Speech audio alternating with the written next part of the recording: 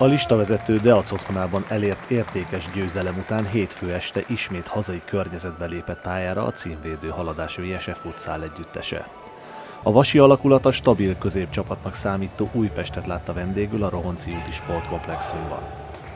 A találkozó előtt a Magyar Labdarúgó Szövetség díját vehette át Nagy Kevin és Juan Ramon Calvo Rodriguez vezetőedző a legutóbbi szezonban nyújtott teljesítményük elismeréseként.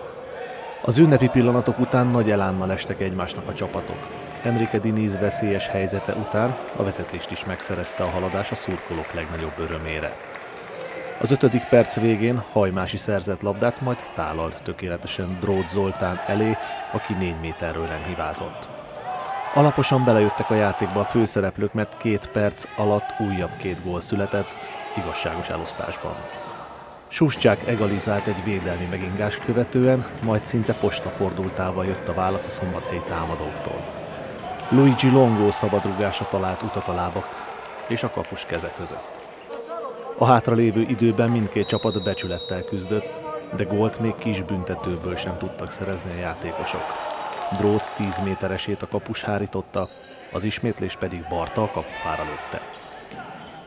Az első játékrész végén így megérdemelten vezetett a haladás együttese. A folytatás is hasonlóan eseménydúsan zajlott. Drót Zoltán remek formában játszott, és a 27.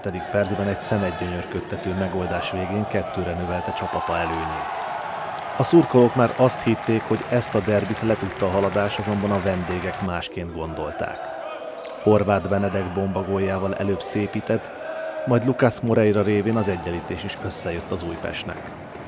A hajrában mindkét alakulat tudása legjavát nyújtotta a győzelem megszerzésének reményében. A haladás az utolsó perceket már vészkapussal kiegészülve támadta végig, és a győztes gól az utolsó perc kezdetén született meg. Luigi Longo szenzációs sarkozással becsapta a kapust, a labda pedig a vendégek játékosát harmist érintve jutott a kapuba. Bár a fővárosi együttes az utolsó másodpercekben mindent megpróbált, de ez csak a tisztes vereséghez volt elegendő. A haladás számára meglehetősen eseménydús időszak köszönt be. Az Újpest elleni mérkőzés után 9 nap alatt három találkozót játszik a címvédő, legközelebb szeptember 30-án, csütörtök este az Aramis csapatát fogadja a Haladás sportkomplexumban.